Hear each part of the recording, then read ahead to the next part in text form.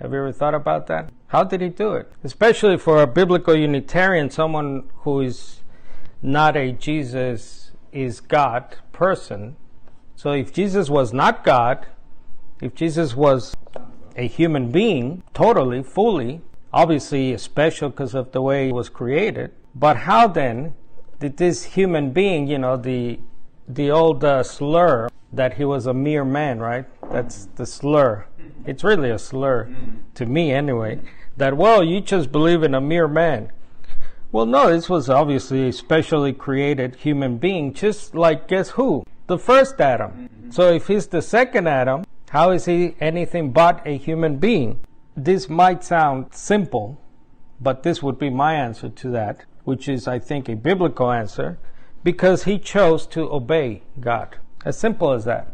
He had the Holy Spirit to empower him. You know, many people, even in the Old Testament, talks about people having the Spirit of God as well. Uh, we have the great things they did.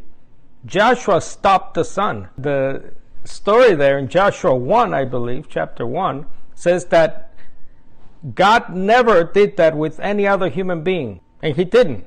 God didn't lie about that. He didn't. No one else stopped the sun, not even Jesus. So, yes, the Holy Spirit is obviously prominent in the ministry of Jesus, but is that really how you keep yourself sinless? I don't think so. I, in my eyes, Jesus simply chose to obey God. And like Abraham or Abraham and Moses before him, they did it because they believed God. They had faith, right? Believe equals faith. I found this interesting section in Hebrews 11, the famous faith chapter, right? All the examples of faith we have there. And in verses uh, 23 forward, in reference to Moses, the writer says, It was faith that made Moses refuse to be called the son of Pharaoh's daughter. He chose, Moses chose to be mistreated with God's people rather than enjoy the temporary pleasures of sin. Think about that. That's interesting. Because that's what Jesus did. A man who said to himself, No, I'm going to obey God because I believe God. I believe God will do what He said He will do for me.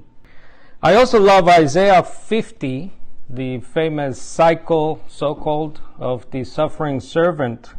In verse 7 of Isaiah 50, the writer says that the suffering servant will say, I have set my face like flint because I know I will not be put to shame.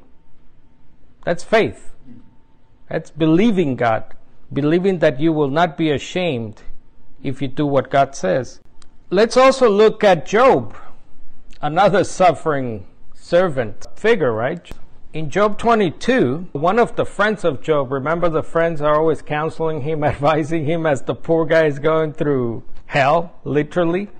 I mean, he loses all his children, he loses his wealth, and so on.